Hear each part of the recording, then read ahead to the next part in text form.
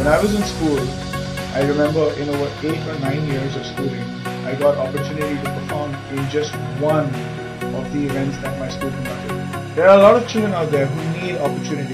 They just need a chance. They just need somebody to believe in them.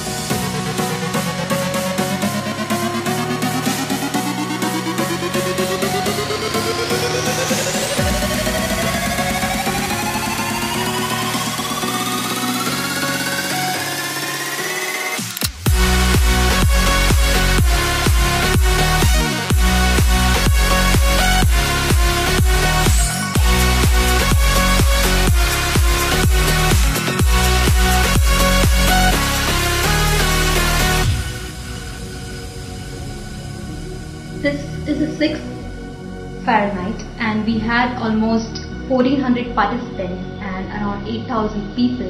And the team has really managed to make this night phenomenal.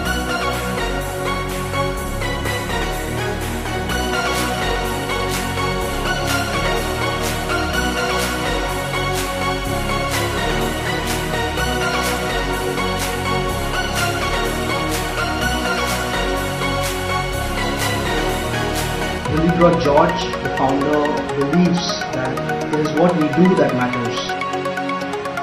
So Fahrenheit provides a powerful platform to help children conceptualize their self-owned music festival.